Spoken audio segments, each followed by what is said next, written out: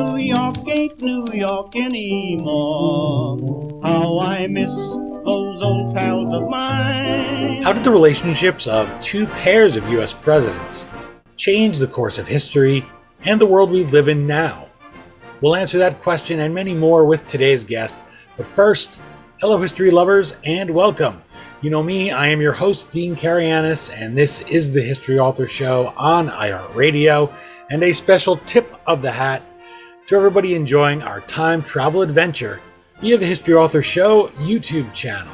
You can find me at historyauthor.com and search through our archive of over 250 interviews. You can also find me on social media platforms, those are all linked at the website. Plus, you can read my columns in the New York Sun to get my analysis of current events through the lens of the history I've learned from all these books on the shelves behind me. In this episode, we'll meet the man who wrote the latest book. His name is Mike Purdy, and he brings us Presidential Friendships How They Changed History.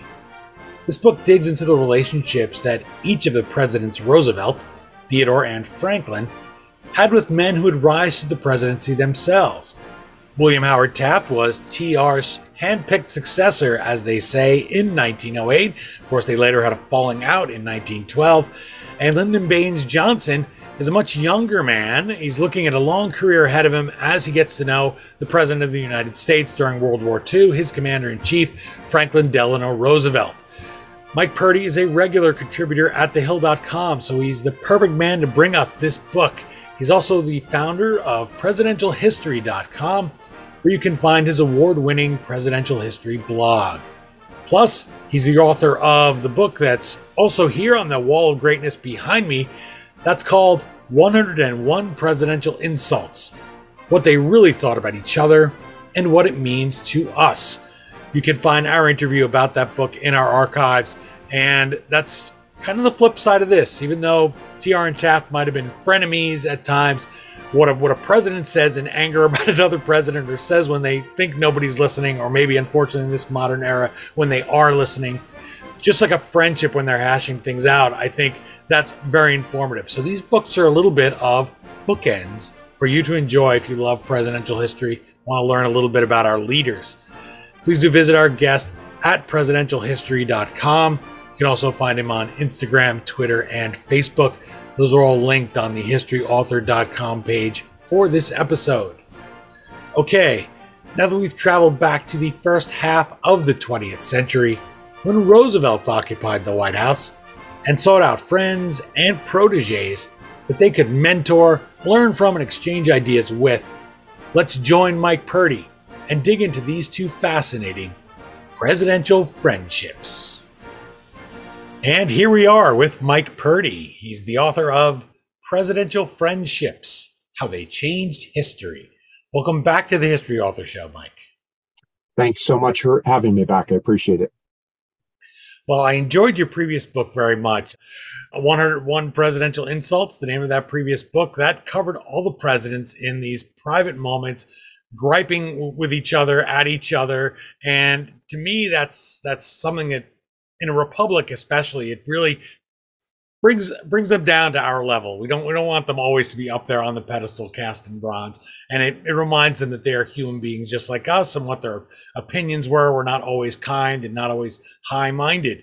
So now here in this book presidential friendships you go somewhat in the other direction the way that i see it. You go from focusing on all of our presidents and them saying things that maybe some of them I'll, I'll, be generous they wanted to take back but certainly weren't kind insulting each other to just four presidents two pairs. The 26th 27th 32nd and 36th presidents. And you go into each of their private friendships which are very different from something you might say behind somebody's back or insulting them even in front of a camera when they're not around. So why did you choose to do that and look at how they were able to influence each other's public service? Well, you know, the in some ways, the presidential friendships book is really a uh, a continuation, in one way, of my interest. So, for many many years, I have, as I've done reading and researching and writing about the presidents, I have been um, struck by the connections between these men and that they they knew each other. And of course, you know, sometimes when they knew each other, they didn't like each other. And so thus the, the presidential insults. But, you know, as I did in the presidential insult book, you know, I tried to document the context for those quotations. But here I wanted to go a step further and say, um, what was really behind those relationships? Um, and you know, you mentioned that these are very human people, and um, and I think sometimes we forget the fact that um, our presidents are very human. And how do these relationships, how do these friendships, and there's different kinds of friendships even within this book between uh, Theodore Roosevelt, William Howard Taft on the one hand, and Franklin Roosevelt and Lyndon Johnson on the other hand. Um, how do these relationships end up changing the course of history. So I think my interest in doing this book is to um, to kind of illustrate the humanity of these men. And you know, my my dream for years has been to do a comprehensive book about um, all presidential friendships. Maybe it would need to be titled presidential friendships and feuds because there's a lot of uh, relationships between presidents that were not very good and sometimes and right within this book. Yeah. well, exactly exactly. Yeah taft and tr yeah. And um so but i didn't feel like uh, i had the time right now to do that. And so i wanted to get out um, to the public at least these two sets of stories. In a way the insults book and this friendships book, the Taft and TR ones. I, I, believe TR is the first quote of your book, and I haven't I haven't looked at it lately, but it stuck in my mind was an insult that that Taft slings at or TR slings at Taft, and they part of the friendship, and I think any of us who have a, a good friend is you look at Taft, of course, we, he's forever the largest president, and or so we assume, and that's right. how he sticks in our minds. And TR would give him a hard time, and Taft was the kind of guy who loved a good fat joke, and he liked to tell them himself. And I think that's an interesting foundation for their friendship because Taft would by definition, with TR being so bombastic, would, would probably have to be willing to just take him going off the handle. And it's just how he always was. And so for the two of them as peers, and we'll get to FDR and LBJ later, and the, the letters, by the way, matter. We're going to bring those up. But TR and Howard William Howard Taft, they're they're close and they're peers. They're guys who come up together a bit, get to know each other. TR uh, finally offers his friend a choice when he's president, and he has this kind of weird, typical, I guess, TR thing to say at dinner that I, I have the ability to see the future, and I can I can see you will either be president or the chief justice of the Supreme Court. So, how do they get to that moment where they're sitting down at dinner? Because you, your friend might offer you, oh, you want a light beer or an IPA, and that's the best choice you get. But here, he's offering him, you could be you could be head of one of the two branches of the United States federal government, and that's that's just what he offers them while they're sitting there at dinner. So how do they get to that spot where they're that close, and TR has that much love and respect for him that we know now is foreshadowing for that falling out later?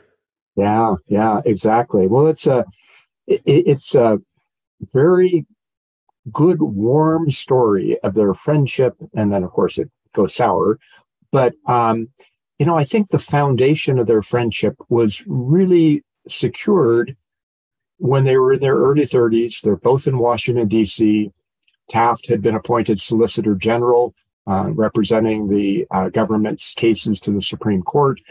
Roosevelt had been appointed um, a civil service commissioner, and they met early on during their, their time in D.C. I think for Taft, in some ways, that he was lonely. He went to DC feeling like nobody uh, was going to pay any attention to him, that he didn't know anybody. And he meets this charismatic Theodore Roosevelt. And, and they live in the same neighborhood together. And they walk to work together. And they have lunch together. And they talk about, you know, families and politics and careers. And they share their dreams with one another and so they're an odd couple. They're they're so different personality wise, but at that point in their lives, they connected. There was a spark in that friendship. So during their careers, of course, they helped one another significantly. And this is how we get to the point of this, you know, famous White House dinner. So Theodore Roosevelt is um, after his civil service commissioner uh, job, and uh, Taft had already moved back to Ohio to be a, a federal judge. Roosevelt goes to New York as police commissioner, and he kind of after a couple of years, burns his bridges there and needs to get out. It's politically untenable for him. And so he is searching about for what's his next gig and where's he going to go. And he decides he wants to be Assistant Secretary of the Navy. He'd written a well known, um, uh, well respected book on the Naval War of 1812 when he was still in his 20s. And he goes, Hey, how do I get to be Assistant Secretary of the Navy? There's a Democrat in the office right now. And um, so his only hope was that um, a Republican would win the presidency. So Roosevelt stumps for William McKinley. And of course, McKinley and Taft are good friends. They're both from Ohio. So, other than stumping for McKinley, Roosevelt goes and asks Taft to speak to the then president elect McKinley. He has a number of other friends talk to McKinley. McKinley isn't um, too enamored with Roosevelt. Um, Roosevelt's too bombastic for him, a little bit too much of a loose cannon. And um, but eventually, Roosevelt prevails, thanks in large measure to Taft's influence. So there's an example Taft helping Roosevelt in his next job. So then, you know, Roosevelt has this, you know, furious, fast career after that. He's the assistant secretary of the Navy. He ends up um, uh, resigning that after about a year to uh, fight in the Spanish American War. He becomes a war hero. He uh, jumps into the New York governor's mansion. Um, then he becomes vice president. I mean, all within this short period of time. Then um, McKinley says, you know, he needs somebody to help run the Philippine Islands. And so Roosevelt's got a great candidate in mind, and that's Taft. And, you know, throughout their relationship, you see Roosevelt um, calling Taft by all of these wonderful superlatives that he's the best guy ever, you know. And um, so Taft is plucked from a fairly obscure federal judgeship in Ohio. And of course, Taft had great political pedigree with his father was, you know, Secretary of War under Ulysses Grant. But still, Taft would have been just as happy to be a judge his whole life. He becomes governor general of the Philippines because of Theodore Roosevelt. Then McKinley is assassinated. Roosevelt becomes president. There's a vacancy on the Supreme Court. He knows his friend wants to be on the Supreme Court. And so he offers the job to Taft. And this is a complicated story here that Taft says no, his lifelong dream, um, for a couple of reasons. One, he says no because he has this great sense of duty and he still feels there are things that he wants to do in the Philippines. But the real reason behind it was his family, um, and especially his wife, Nellie, um, who wanted him to become president, didn't want him to have a judicial career.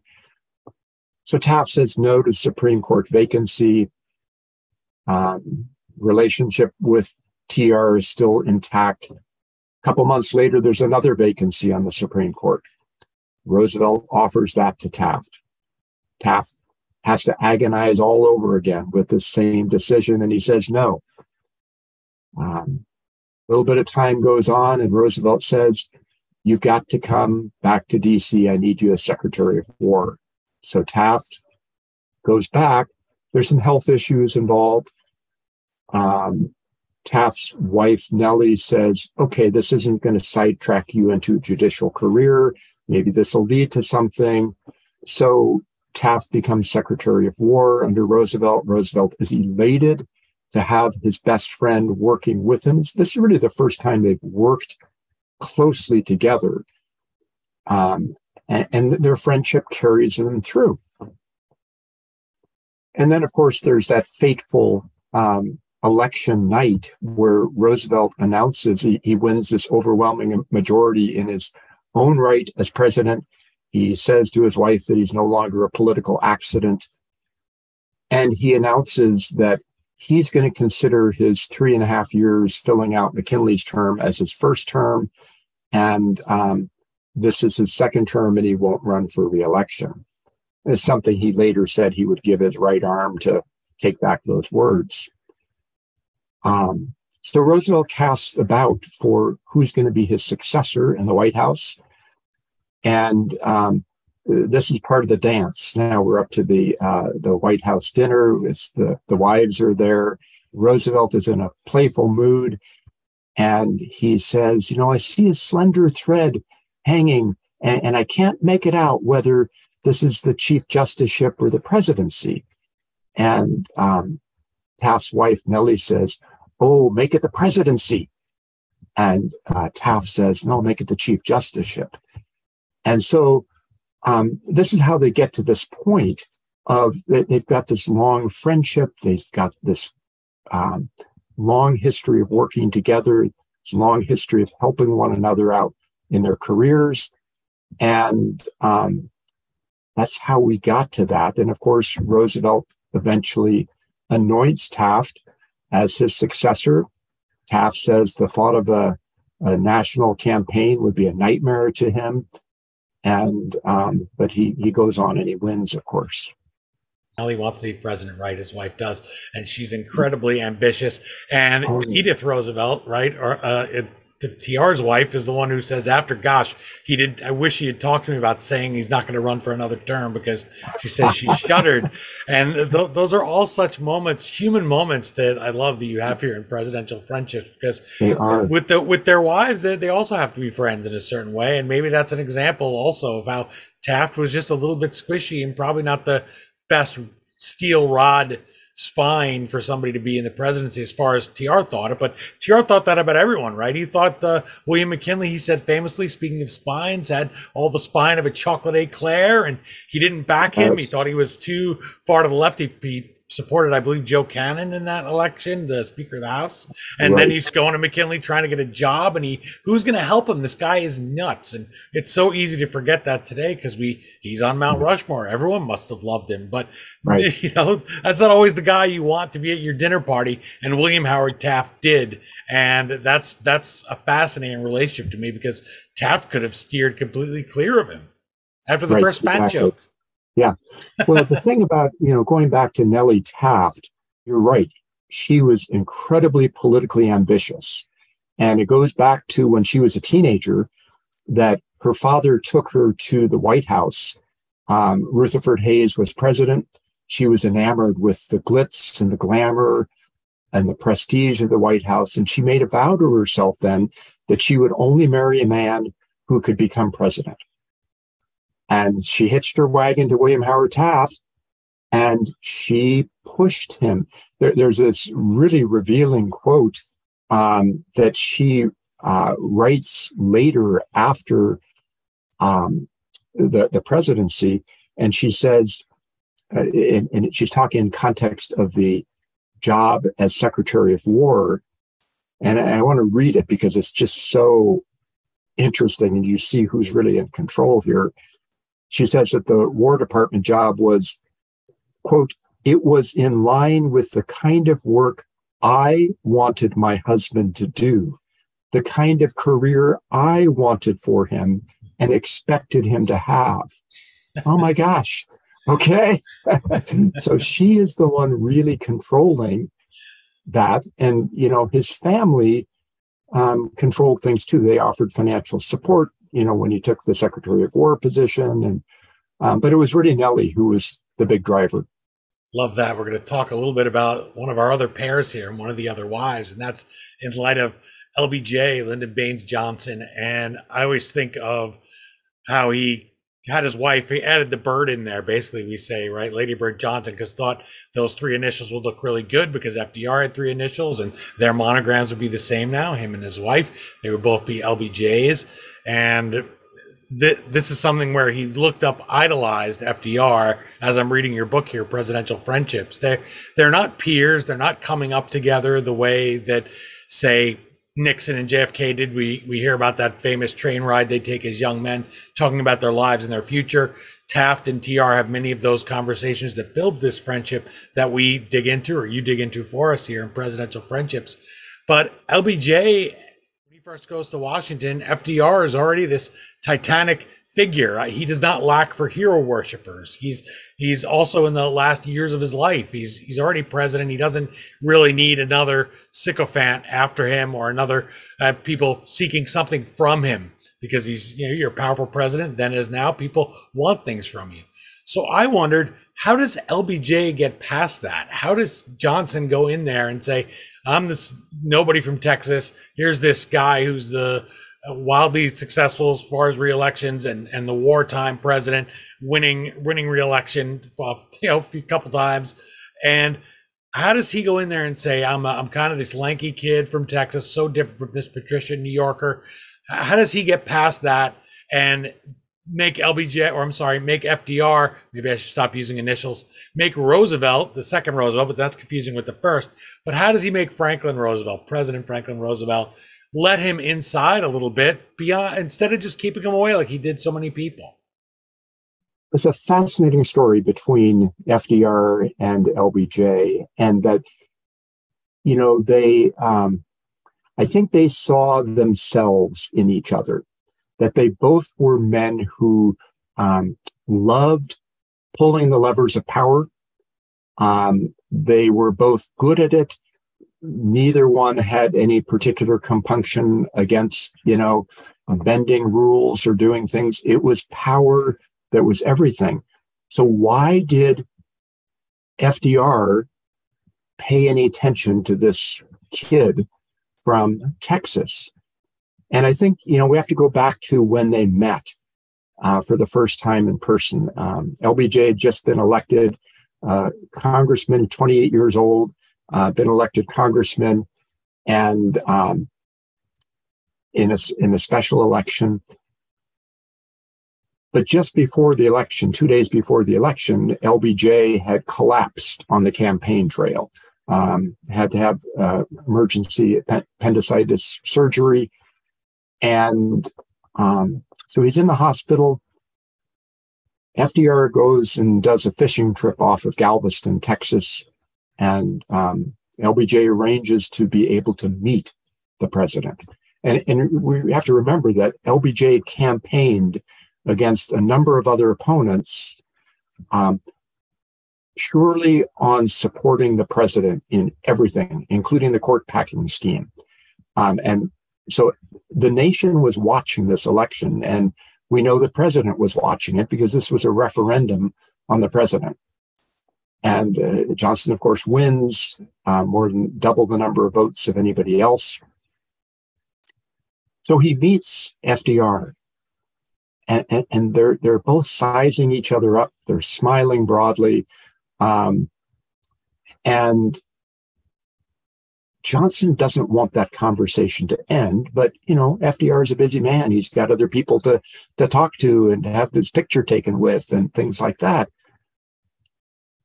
And FDR doesn't really want the conversation to end. So he invites Johnson to join him on the train, uh, 300 mile trip on the train, and the two talk privately. And, you know, Johnson exaggerates all sorts of stuff his interest in naval affairs and fishing. I mean, he, he's just trying to ingratiate himself to the president, and the president, you know, bought it. And like I said, I think they saw themselves in each other.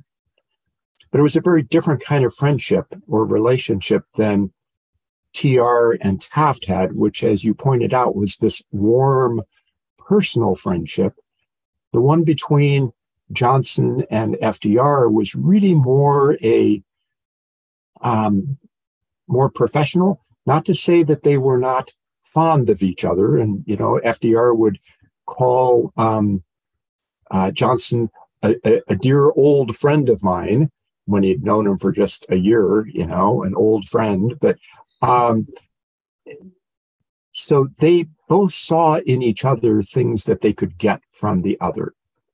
And um, I think FDR liked Johnson's enthusiasm, his being savvy. He saw him as um, uh, an up and rising political leader. And he thought, you know, I'm going to pay attention to him. Now, while we had, you know, Taft and TR, we, we see at different points in their careers, they're helping each other. And there's certainly things that um, FDR helped Johnson with, and vice versa. There's also times when Johnson finds himself um, kind of bummed out that FDR is not paying attention to him. He can't get an appointment with the president. He's not invited on a train trip through Texas later on. Um, so it was a relationship of political expediency in many ways. You're enjoying my conversation with Mike Purdy. He's the author of Presidential Friendships How They Changed History. You can find our guest online at presidentialhistory.com, as well as on Instagram, Twitter, and Facebook. I'll link to all of those accounts at the historyauthor.com page for this episode. Author Feather Schwartz Foster, who I interviewed about her book, Mary Lincoln's Flannel Pajamas and Other Stories from the First Lady's Closet, writes of the book Presidential Friendships is a nifty read. At only 100 pages, it's short, sweet, and snappy. It does exactly what Mike Purdy intended to demonstrate the dynamics between men who became friends and occupied the White House. Roosevelt and Taft, personal and intellectual peers, and diametrically opposed personalities. FDR and LBJ, separated by a generation gap, but two of a kind. So there you have Feather S. Foster saying exactly what you just did about them being two of a kind. And I like to picture Roosevelt in that scene. Franklin Roosevelt is sizing up when he knows he's being buffaloed by LBJ and saying, This kid is good at it because that's how that's how a lot of politicians go, right? That's how they get a lot. And be in fact, it was Richard Nixon in the '90s, uh, like '92 in the primaries, and he said, "Keep your eye on on Bill Clinton when he was on Larry King." He says he knows what he's doing, and Larry King said, Are you nuts? He has no money. He's not funded. He's, he's unknown. He gave that long, boring speech at the convention nominating Dukakis. How could you, you really, you think this guy is going to be the guy? And he said, He's all that's true, Larry, but he's very shrewd. And when you think of Nixon and, and Clinton and those, those politic abilities, although I'm sure, speaking of right arms, Nixon probably would have traded his to have that human touch that, that Bill Clinton had. But politicians see something in each other that look, that they often look beyond what we might see. We might think, oh gosh, he's he's making up that, but that can work for you in politics when you're trying to ingratiate yourself in one little episode of your life you really build up. And that's what Feather S. Foster was focusing on there. She was kind enough to submit also a question for you about presidential friendships. So let me read that to you. Feather asked, knowing that TR and Taft met as young men and parents of small children, any thoughts on the relationships between the wives. In later years, Nellie Taft and Edith Roosevelt were cool, but what about when they were young wives and mothers, unquote? And I think a little bit of that maybe applies also to Lady Bird Johnson and to Eleanor Roosevelt. So, what about that? What about the wives and the roles that they play in those friendships, in those relationships? I think in the early days, they uh, the wives uh, were probably much better friends. Um, but I think coloring the entire relationship is going to be Nellie's ambition, her political ambition. And I, I think that there may have been uh, some um, oh, concern of hers that she sees that um, Theodore Roosevelt is outshining her husband. And, and I mean, Roosevelt's a charismatic person. William Howard Taft was not charismatic. He was he was jovial and friendly, but not charismatic. And so I think in the early days, I, I, I can imagine, you know, the the two men, Theodore Roosevelt and William Howard Taft, you know, walking to work together, talking about their families, probably getting together with them. They're all trying to find their bearings. They're raising young children. Um, but I think as their careers continued to progress, I think we found Nellie becoming increasingly political and pushing her husband. And I think that probably caused a little bit of um, grief between the wives. There's the story that I don't know all the details to, but when um, the night before Taft's inauguration, um, Theodore invites the Taft to spend the night in the White House. And um, it's characterized later by, I think it's uh, Roosevelt, either Roosevelt or Roosevelt's wife, as that dreadful dinner that they had with the Tafts. So something went on um, that that didn't work out real well between them. So even by then, they were um, th- there was tension in that relationship.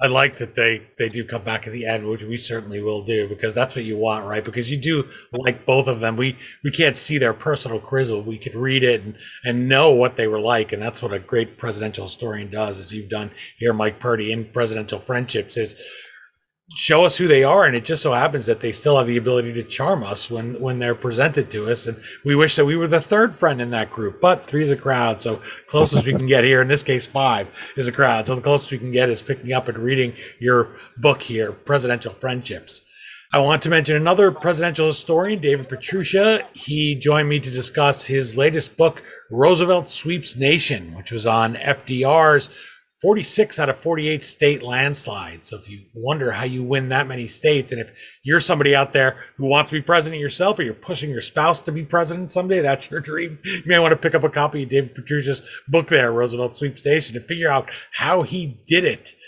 So he gave me a question here to ask you. It's a video question. So let me roll this one from David Pietrusza and get your response.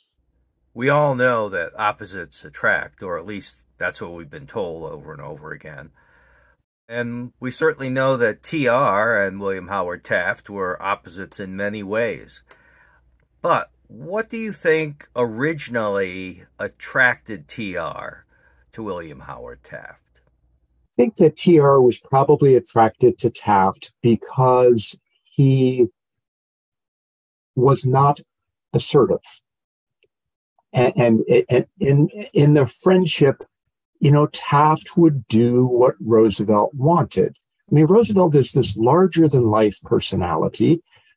Um, and, and, I mean, I want to say on a side that I think Taft has been underrated as a president. I, I think he was very solid. Um, he probably never should have been president. He probably should have been on the Supreme Court from the beginning. But um, I, I, think that there's this um, fact that TR feels that he can tell Taft what to do. And I think we see this played out in their careers where Roosevelt is the public face. He's the idea guy. So this is when he's president and Taft is, you know, either governor general of the Philippines or secretary of war. And what, what happens is Roosevelt sets the policy and Taft implements it. He's a a good administrator and a faithful administrator. And I think we probably, um, th- there were probably some parts of that that we could see earlier in their friendship in terms of how they interacted with one another. Of course, that ends up being uh, sowing the seeds of their eventual um, uh, breakup of their friendship because Roosevelt has rose colored glasses about Taft. And he says at one point that he thinks that Taft will be a better president than uh, Lincoln or Washington, accepted. Those would be the only exceptions. And so he, and, and part of this goes back to Theodore Roosevelt's ego, too, I believe, that Roosevelt felt that if he could get a president installed after him who would be great, that would show that he Roosevelt was a great president as well. But it, all, of course, all fell apart. And, um, you know, when Taft became president, he made presidential decisions. He was not a clone of Roosevelt, never was, never would be. But Roosevelt thought he would, was a clone. And I think that goes back to their earlier friendships. He thought he was a clone of him because Taft is an agreeable person. And so you have an agreeable person like that, and you go, Oh, this is a great guy. I really like him. He agrees with me on everything, you know? So I, I think that's part of why the um, Roosevelt liked Taft. And, you know, we see that played out in their careers. Um, and like I said, that sows the seeds for their eventual uh, breakup. I think that Taft has something that a lot of successful politicians have, and he's not very successful there in, in, the presidency, of course. But a lot of them, people will say this is another another uh, Bill Clinton thing. I mentioned President Clinton earlier, but where Newt Gingrich would say, I would walk in there and I would walk out and I would say, in the Oval Office, there being the Oval Office, and say, "What did I just agree to?" He says, "I'm sure he agreed with me, right? Didn't he?" And a lot of presidents have been like that. You know better than I that everybody leaves thinking he agreed with me. He agreed with me. FDR agreed with me. It's something that is in Roosevelt Sweeps Nation there, Dave Pietrusza's book. And with Taft, he's he's just all right. I'm gonna let this guy talk, and just kind of he's probably just kind of glad to be around him. As you said, he he doesn't have a lot of friends and this guy's bombastic and and he's got energy he's got the physical uh, stamina and and building his body that Taft doesn't have I could see where he is just going along with him and then uh, TR just thinks well every time I ever said right Bill right he agreed with me so he is just I, I love that here in presidential friendships because their relationship can be colored by that falling out that they have in 1912. That's looks very disappointing and looks very bitter, and, and it was at the time, but in the history book. So I love that you have that in there. Yeah, and I, I think that you know, as I've reflected on this, that I would say that Taft had the bigger heart, and Theodore Roosevelt had the bigger ego. And, and, and that's what really caused the conflict. All Taft ever wanted was to be friends with Roosevelt. And Roosevelt didn't know what to do with himself after his presidency. Um, he had loved every minute of it, and he didn't know what to do. And he sees Taft making decisions that are different than what he would have made. But the real censure, and, and again, this says something about Taft, that, that the Taft is this, you know, what you see is what you get kind of guy. And, and, and so after Taft is elected president, he writes a thank you note to Theodore Roosevelt, which, well, he should. But he's not very politically discreet. And, and so he says to Roosevelt, you know, you and my brother Charlie had more to do with me being elected than anybody else. Roosevelt was incensed. What about your brother Charlie? You know, I mean, I handed you the presidency on a silver yeah. platter, and you're equating me with your brother Charlie, and all he did was raise money. And so that really yeah. that that was the beginning of the unraveling of the relationship. I think it would have unraveled anyway, because they're in different roles and Taft was his own man. But um, Roosevelt's ego could not handle that. Well, easy here. We're, we're talking about three gentlemen with very big egos uh, mm. LBJ, FDR, and TR. And I'm glad that Taft has taken over a little bit, and you and I are are focusing on him a little a little more than than probably most people might have. He's he's mm-hmm. kind of only seen as a reflection there of of Theodore Roosevelt and defined by that loss and by being made president. But he was a, a great influencer and part of history in his own right. Mm-hmm. Mm-hmm. Definitely, and he was. You write in Presidential Friendships of FDR, quote, Roosevelt had a well deserved reputation for steering and dominating conversations, something for which Johnson was also known, unquote. Now, that sounded familiar, which is why I paused there because we were just talking about how his cousin did that. And LBJ also observes the time how he's watching and trying to learn, right? Always uh, a good politician also does that. They're watching, they're learning, they're listening, they're studying. And that's what he observes does LBJ. He says, quote, the president's style and manner and picking up a few tips for later use. That's how you describe it. So the younger Roosevelt was kind of kind of patient zero, kind of the, the OG president. He was the original guy that they all patterned themselves after to one degree or another because it's not just Taft taking over, but FDR emulates his fifth cousin so much on a lot of these things, emulates his square deal with the New Deal, this kind of thing. And then of course we we have the Great Society with with uh, Lyndon Baines Johnson. So I wanted to ask what is the through line here, all the way from 1901, that dark moment where Theodore Roosevelt's thrust into the president, through the presidency of Lyndon Johnson, and that's that's within obviously our living memory. What's the through line? Because you say here, the subhead of your book is how they influenced history. So, what is that through line? What did they learn and carry through those generations? That's a great question. I mean, I think they are successively picking up about how to exercise political power. And um, and it's the threesome of the the foursome in this book that that do that very effectively. Um, Theodore Roosevelt um, knew how to give a speech. Um, he was charismatic. He knew how to use power. He loved using power. His fifth cousin, Franklin Roosevelt, as you said, patterned his career after Theodore's. And he ends up learning how to use power. And, and, and you're absolutely right. You mentioned a while ago that people would leave FDR's office thinking that the president had agreed with him because you know he would smile and nod and yes. And then you've got Lyndon Johnson, who is observing Franklin Roosevelt. Of course, he he perfected the um, you know the the nonstop talking that FDR would have, and Johnson became known for what's called the Johnson treatment, you know, grabbing his opponent by the lapel and leaning in and, um, you know, threatening, cajoling, encouraging them and trying to get his way. Um, something that FDR, of course, could never do because he was uh, seated in a wheelchair. But but FDR did that through words.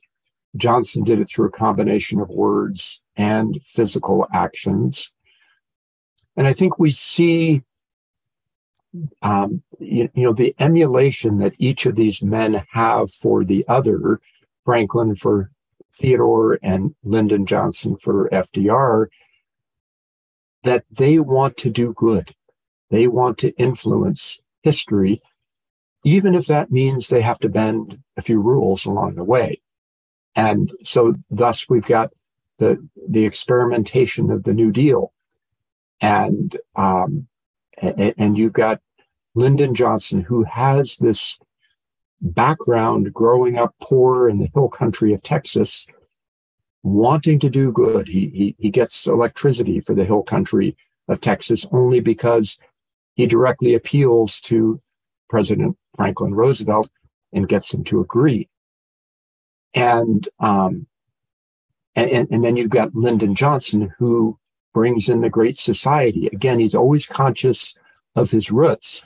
And what's really interesting, of course, is you've got the two patrician Roosevelts who are populists, as is Lyndon Johnson. And yet they ended up seeing the need for helping the people course, a lot of people will say that it's Eleanor Roosevelt who was the eyes and ears and conscience of Franklin and uh, kind of pushed him uh, to some of his actions. You talked about the history and those through lines and about that that's all social advancement that I think uh, despite what maybe some of the things that that might have been said in the Taft years about that, or even as far back as the the John Quincy Adams years about about advancing public works, the role of the federal government. That all is such a big through line. It's something we that we still talk about today, just the role of government.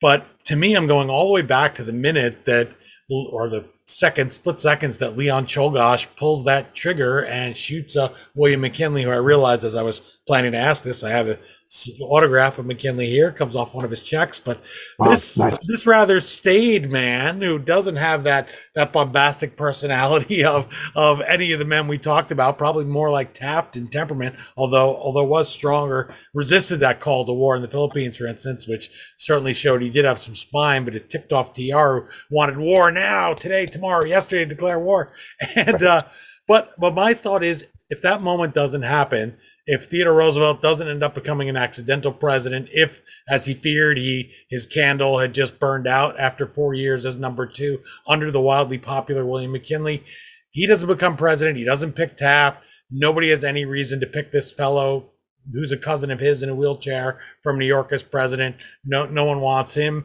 We don't get Lyndon Johnson. He maybe has a lot of those. He doesn't have a real good influence or things like his uh, bipolar disease, the things that he that he suffered with. That's something that when I discussed it with Betty Boyd Caroli about her book, Lady Bird and Lyndon, the hidden story of a marriage that made a president, which is a fantastic book. I want to go back and listen to our interview and pick it up, everybody out there. But I want to ask you to prove the thesis there of your How They Changed History subtitle. Without McKinley's death, if TR doesn't become president for some reason, how is our world today changed because we didn't have those presidents? Play a little bit of what if. Well, that's a great question. And I'll add into the mix, and then I'll try to answer it. I'll add into the mix, uh, you know, what if Franklin Roosevelt had been assassinated before his inauguration? There was that attempted assassination. And what would our world look like without Franklin Roosevelt as president? So, you know, let's go back though to Theodore Roosevelt, and uh, he serves four years as McKinley's vice president. Let's speculate. And um, does he make it on his own? Maybe. I mean, he was certainly a charismatic person. He certainly had presidential aspirations. Uh, would he have been able to win in his own right uh, without that assassination uh, propelling him into the White House? It's one of those what ifs of history that we don't know. And then there's the ripple effect that you mentioned about Franklin Roosevelt. If Theodore had never become president, what about Franklin? I mean, Franklin was banking on the Roosevelt name um, in 1932. And he also had going for him that Hoover was, you know, this dour personality who was presiding over the Depression, and people said, we want a change of, of some sorts. So um, I guess I would I would speculate, and it's only speculation, obviously, but I would speculate that Theodore Roosevelt would end up becoming president anyway. Um, you know, would he serve? Probably serve two full terms. What would happen to Taft? I mean, there. Uh, we, could spin these out in a whole bunch of different directions, and um, we simply don't know. Yeah, well, to me, I can't help but think how much would be different. And as you said there, those there's many of those what ifs. If uh, Giuseppe Zangara, and I just want to let everybody know, and you know, Mike Purdy, that I was disciplined enough not to shout out the name of the assassin, of attempted assassin of FDR. But if that fellow is unfortunately just, uh, you know, few inches, half a foot taller, doesn't have to stand in a chair that breaks. Uh, we lose FDR. That's the man in the high castle. That's the premise of that alternate history there. But uh, without TR, to think that we could even be asking that question is so huge because you think about that. That's 70 years of the of the century that that we're speaking about this man, this influence, this carrying over the result of these friendships. And don't forget, we do have Taft there as the Chief Justice. Think about how much influence the Chief Justice of the Supreme Court has. Uh, FDR is the vice presidential candidate. If folks want to read David Pietrusza's book, The Year of the Six Presidents, he is one of those six presidents in there. He's the vice presidential nominee for James Cox that year. So that's that's another influence that we have. It's think about how much we had Roosevelt's on the ticket tickets, presidential tickets in those first 45 years of the of the Amer- of the 20th century is really amazing. And so I love that. I think when people read this book, they'll they'll really absorb that part of it and say we're living in the world that was inter- that was influenced so much by these two friendships. I want to close with a final question, and that's that you do list several other pairs of presidents in presidential friendships. You mentioned Washington and Madison. That's a fascinating one. Another uh, father son dynamic is between Washington and Monroe, this young soldier, this old soldier, uh, Hoover and Truman. We mentioned Hoover there. We can give Hoover a little bit of uh, a little bit of redemption or praise there that he has a relationship with Truman. Uh, Truman, however, with Eisenhower, not that's a good one to go back and read that 101 presidential insults for things going back and forth there from Truman. Truman did you a great favor because he evaluated so many of his predecessors, went through and, and uh, right. ticked off that's some right. some objections to all of them. But uh, Eisenhower, Nixon, that makes sense. Bush 41, and I mentioned President Clinton earlier. Another another bit of, I guess you'd say, redemption from being uh, foes, although not personal foes, as as we saw.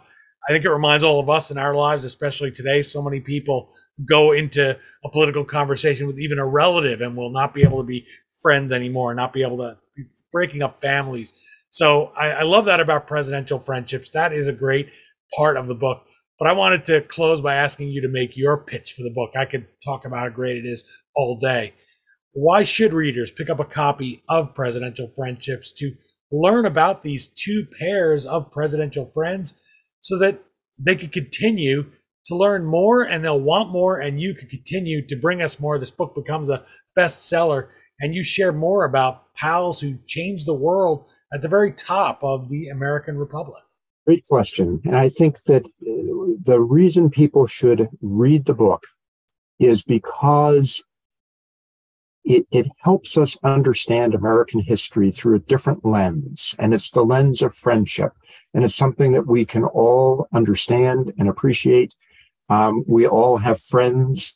We know their value in our lives. But I think we miss sometimes the fact that um, even our presidents have had friendships with other presidents and how those have been significant. And it, as we talked about at the very beginning, that these friendships help to humanize these men. We've got Taft's big heart and Theodore Roosevelt's big ego. And how can they be friends for so long? And then they have this, you know, horrible blowout in 1912. And then they have a limited reconciliation um, in later years. And, and, you know, Taft is weeping at the funeral for Theodore Roosevelt um, and, and says, you know, Roosevelt was my best friend. And he's grateful that they, they did have that limited reconciliation. And then with FDR and LBJ, um, as we've talked about, it's not the kind of personal friendship, it's a political friendship. It's one of expediency. They both need each other. Um, they both like each other and they both help each other. FDR probably would not have been reelected in 1940 to a third term without LBJ raising campaign cash a little bit illegally. And LBJ's career would have been cut cold if President Franklin Roosevelt had not cut off the IRS investigation into that those illegal campaign contributions. So we see that relationships make a big difference. Friendships make a big difference in presidential lives and in our lives. And the book is a way to humanize it and a way to see our history through a different lens. Well, Mike Purdy, that's what you do as an author is give us that history through a different lens. And I so appreciate that. I'm so glad that you came back and joined us again here on the History Author Show to talk about presidential friendships, the name of your book. Thank you so much for giving us a look, uh, making us as close as we can be to a seat at, to sitting at a presidential dinner between these presidents. We get to we get to do that here through your book, and I enjoyed it so much. These two Roosevelts influenced successors so much, and through them influenced the world that we live in today. I wish you the best of luck with the book. Look forward to our next conversation and to your next book. I hope everybody out there will forgive my exuberance today, but I was really excited about this book and to speak to Mike Purdy. If you want to be excited too, who can't? Use a little bit of excitement in their lives, please do go pick up Presidential Friendships or his previous book, 101 Presidential Insults. You will be glad you did, and you'll look at our presidents, those faces on money and carved into mountains, a little bit differently Again, Mike Purdy, thank you so much for your time. Thank you, Dean, for having me. I appreciate it. Again, the book is Presidential Friendships How They Changed History. As always, you can find the Amazon link to purchase your copy at thehistoryauthor.com page for this episode. By buying a book through us, you help keep the flux capacitor on our time machine humming like usual. My thanks to Mike Purdy for joining us today and for sharing a deep dive into the relationships of two sets of presidents who helped shape the American century. You can find our guest at presidentialhistory.com and on Instagram, Twitter, and Facebook. Those are all linked on the episode page for this show. Also, please do remember to check out our interviews about Mike Purdy's previous book. That was 101 Presidential Insults. Plus, if you're in a presidential frame of mind and you want to meet the ladies behind the men, ladies who made the man, as the old saying goes, please do check out my conversation with Feather S. Foster about Mary Lincoln's flannel pajamas. Those stories of first ladies, or my gals as she refers to them, really bring history alive. Feather is so much fun. My interview with her has a really, really sweet spot in my heart because it was so much fun. I think that really comes across in that interview. And Mike Purdy and I had a lot of fun in our conversation too. As you know, I like to talk presidents. You like to hear people talk about presidents, please do go check out those two interviews with Feather Foster and my previous one with Mike Purdy. I'm sure you'll love what you hear and have a lot of fun too. And even if you don't, let me know. That's it for this installment of the History Author Show. I hope you'll join us for our next all new interview right here on iHeartRadio, YouTube, or wherever you enjoyed this journey into yesterday. Until that next trip into the past together, on behalf of Mike Purdy and the four presidents that we got to know a little better today, Thanks so much for time traveling with us, and have a great week. We still call it Broadway, but what's in a name? Take it from Georgie, it isn't the same. On the east side, west side, things ain't like before. There are tears in the eyes of the regular guys. Oh, New York ain't New York anymore.